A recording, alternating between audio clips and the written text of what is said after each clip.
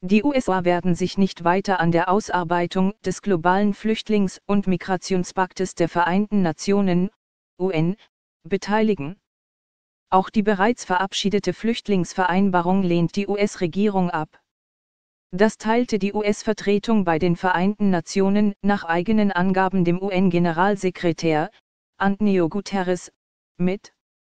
Die Erklärung enthalte zahlreiche Bestimmungen, die nicht vereinbar sind mit der Einwanderungs- und Flüchtlingspolitik der USA und den Einwanderungsgrundsätzen der Regierung von Trump, heißt es in der Mitteilung der US-Vertretung.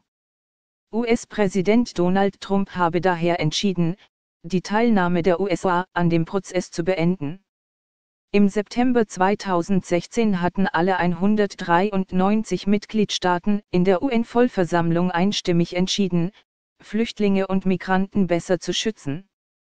Die Länder, die die meisten Flüchtlinge aufnehmen, sollten zudem besser unterstützt werden. Auch die USA, damals noch unter der Regierung des ehemaligen Präsidenten Barack Obama, hatten der Erklärung zugestimmt. Die Vereinbarung ist die Grundlage für einen globalen Flüchtlings- und Migrationspakt, der bis Ende 2018 ausgehandelt werden soll. Sie ist rechtlich nicht bindend. Laut der US-amerikanischen UN-Botschafterin Nikki Haley werde die US-Regierung Flüchtlinge und Migranten auch weiter unterstützen. Kein Land hat mehr getan als die USA und unsere Großzügigkeit wird andauern, wird Hale in der Mitteilung zitiert. Über Einwanderungsfragen müssten die USA jedoch selbst entscheiden.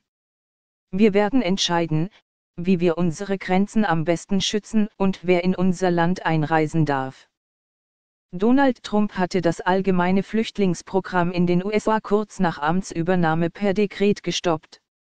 Zudem hatte er bereits einige Male Einreiseverbote für Flüchtlinge verhängt. Die USA nehmen im Vergleich zu Europa nur wenige Flüchtlinge auf. Bis Ende September waren es 2017 insgesamt 27.000, im gesamten Jahr 2016 hingegen 97.000 Menschen.